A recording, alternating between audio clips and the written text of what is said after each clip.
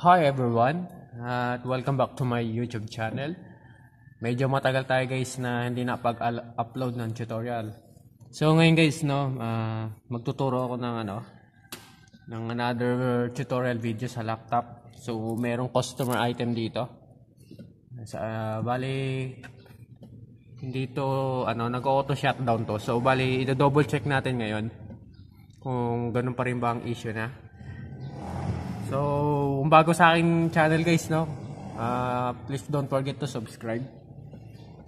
Uh, medyo matagal tayo din nakapag-upload. Pasensya sa mga viewers natin. Ngayon may another tutorial ako para sa inyo. Sana ma-fix natin itong laptop na to. This Acer laptop guys. At sa video natin guys, no, magta-try akong itaglish o mag-English para sa mga foreign viewers natin.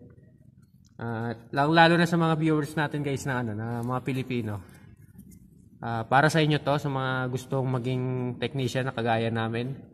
At uh, ayun lang naman, wag na natin patagalin. So meron akong ano dito. So ito yung adapter. Check natin yung adapter. So bali ito yung adapter guys, no. Ayan, nakita nyo may green light. Ibig sabihin working siya. At Ipa-plug in ko guys. I'll try to plug in and let's check it out. If there's a power. If there's a power in our laptop. so as you can see I plugged in already. Here. Oh, there's a blue light. And oh, there's automatic powering on automatic power on and let's find the what is called this one? The issue. So maybe this is shortage. Kasi na automatic shutdown ay automatic power on. Kahit hindi natin pinipindot yung ano power button. So try ko i-shutdown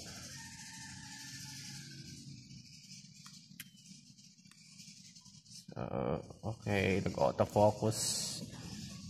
Ano ulit? Uh, power on ko ulit. The last time I checked this laptop is uh, automatic shutdown in just uh, a minute, one minute. If I'm not mistaken.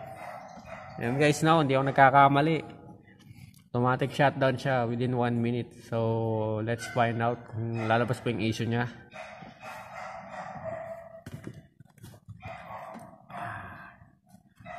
This is a good laptop. Maganda yung laptop niya guys. Napakanipis niya. Madaling gamitin, lalo sa mga estudyante. Try ko nga i-configure muna guys. Hindi ma-detect yung operating system. Oh.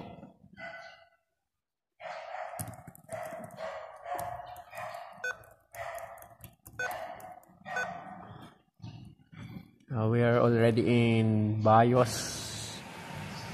Okay, Toshiba UFI Legacy BIOS. Okay. F10 save enter. Let's check it out. Operating system is already detected. Let's find out the issue of this laptop. Sabi ko last time nag-auto shutdown siya. As in shutdown talaga guys. Hindi mo pang i-power on siya. Para umano lang. So, try natin to. So, sana lumabas yung issue niya.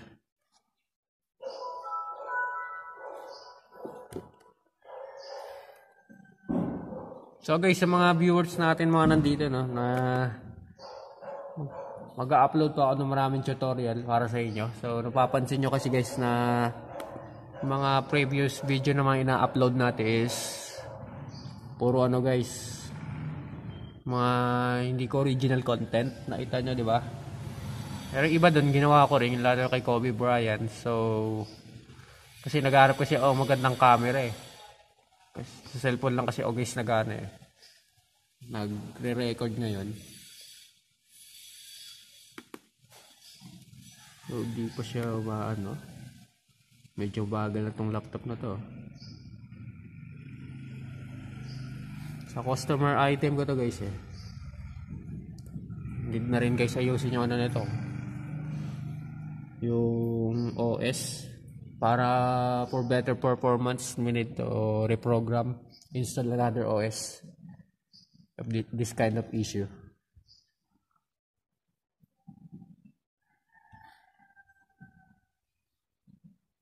Tignan natin. So, hindi pa siya nag auto shutdown. Naka-ready na pa naman guys yung mga pan-tools natin.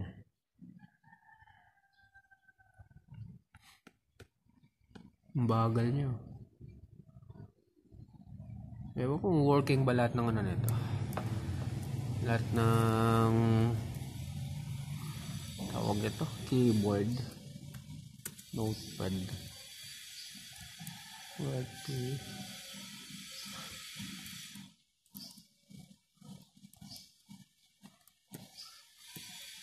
Ba, nagana pala lahat eh. Working guys. May-ari nito, di na kinuha sa akin eh. so, gagawin ko, ibablog ko na siya ayusin kasi wala siyang budget para ano dito. So, ayusin ko, ako gagamit. So, ganun ang purpose nun. Pag may hindi kinukuha sa inyo mga item, kaya gumamit. Kaya matambay lang, di ba? Oh, working. Very pro, pro format ko nga ito. Ano yung mga backup niya. Oh, wala ka naman pala masyadong laman to.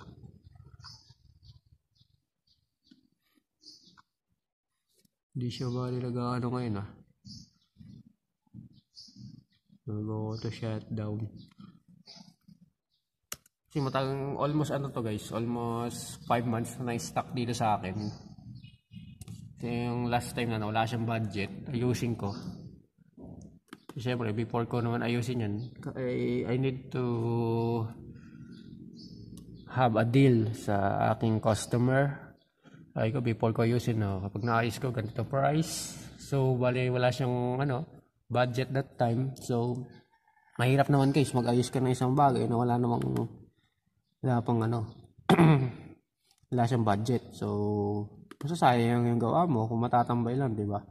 Maganda eh, may clear kayong usapan sa inyo mga customer bago nyo ayusin isang bagay. Wala, di pa siya nagsha-shutdown ha. Strike ulit guys si ano. Kasi dito guys nag-ano tayo eh. Ina- ino-observe natin ang isang laptop.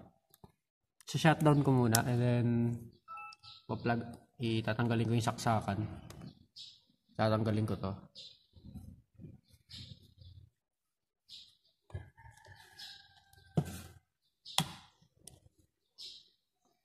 Okay. So, may nakita niya, may ilaw pa siya, no? Sa battery light. So, try ko ulit kung mag-open pa rin ba siya ng kusa. So, hindi na siya nag, ano, nag-on. Hindi pa na makalabas yung issue niya.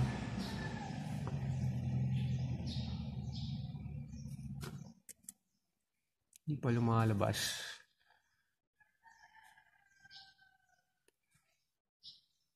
Yan guys. Uh,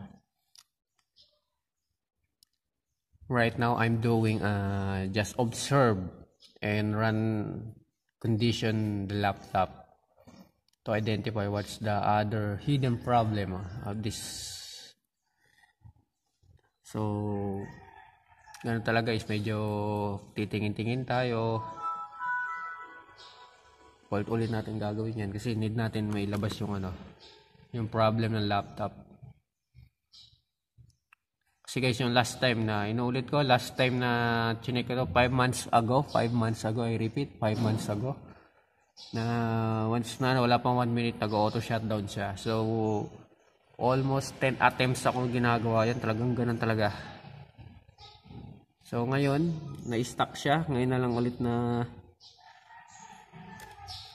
Ngayon na lang ulit siya na ano, nagamit.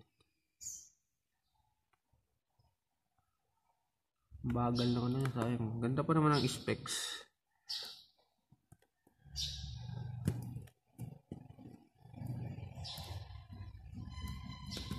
Ganda na. Yung full specs na ito. Oh, tugma ba? Oh, 4 gig siya guys. Oh.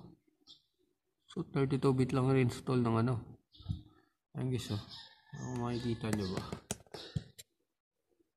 Ano, 4 gig 32 bit lang. Dapat kasi guys, kapag 4 gig yung RAM nyo, so dapat yun eh 64 bit. Mas mag um, papagandahin ko na lang to. Since hindi pa naman ginagamit. Medyo naiinip ako guys ah.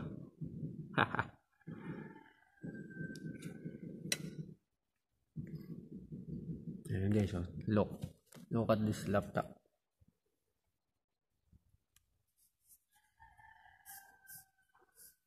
Yan. Mag-autofocus tagal mag-autofocus ang ating ano.